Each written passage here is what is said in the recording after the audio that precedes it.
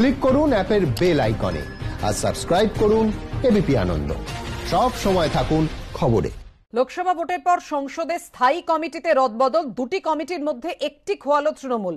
রেলের মতো গুরুত্বপূর্ণ মন্ত্রকে স্থায়ী কমিটি থেকে সরিয়ে কম গুরুত্বপূর্ণ কমিটিতে পাঠানো হলো সুদীপ বন্দ্যোপাধ্যায়কে। কথা বলব আমাদের প্রতিনিধি বিজেন্দ্র সিংহের সঙ্গে। বিজেন্দ্র, কি খবর রয়েছে?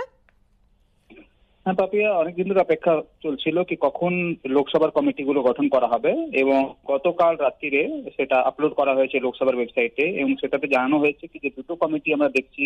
আগে চেয়ারম্যান ছিলেন টিএমসি সাংসদরা, রাজ্যসভা থেকে ট্রান্সপোর্ট এবং ট্যুরিজম কমিটির চেয়ারম্যান ছিলেন ডেরেক ওব্রায়ন এবং লোকসভা থেকে সুদীপ বন্দ্যোপাধ্যায় ছিলেন রেলওয়ে স্ট্যান্ডিং কমিটির চেয়ারম্যান এই দুটো কমিটি টিএমসি থেকে নিয়ে নেওয়া হয়েছে এবং একটা কম গুরুত্বপূর্ণ কমিটির চেয়ারম্যান সুদীপ বন্দ্যোপাধ্যায়কে করা হয়েছে, যেটা ফুড এবং সিভিল সাপ্লাই এবং কনজিউমার অ্যাফেয়ার্স এর ডিপার্টমেন্টে তাকে চেয়ারম্যান করা হয়েছে। অর্থাৎ একটা কমিটি টিএমসি থেকে নিয়ে নেওয়া হয়েছে এবং একটা কম গুরুত্ব কমিটির চেয়ারম্যান করা হয়েছে সুদীপ বন্দ্যোপাধ্যায়।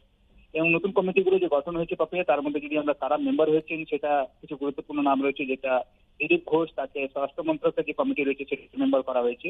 মিমি চক্রবর্তী হয়েছেন শিল্প দপ্তরের যে কমিটি রয়েছে, তার তার মেম্বার মালা রায়কে ট্রান্সপোর্ট ট্যুরিজম কমিটিতে মেম্বার করা হয়েছে। ডক্টর চ্যাটার্জি মেম্বার হয়েছেন ইনফরমেশন এবং টেকনোলজি যে স্ট্যান্ডিং কমিটি রয়েছে, তার মেম্বার হয়েছেন। এই কমিটিতে মহুয়া মৈত্র মেম্বার হয়েছেন।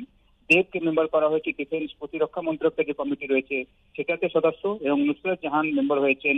ওয়াটার রিসোর্সেস যে দপ্তর রয়েছে, তার যে স্ট্যান্ডিং কমিটি রয়েছে, সেটাতে তাকে সদস্য করা হয়েছে এবং পুরো তালিকাই এখন প্রকাশ করা হয়েছে লোকসভার তরফ থেকে।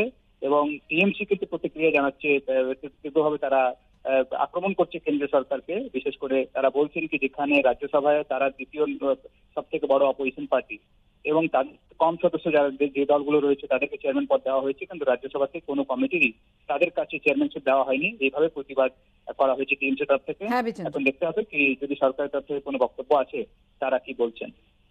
ধন্যবাদ।